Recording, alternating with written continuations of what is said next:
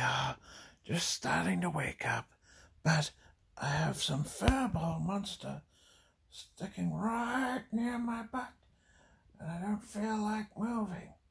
So I'm just going to lay here a bit longer.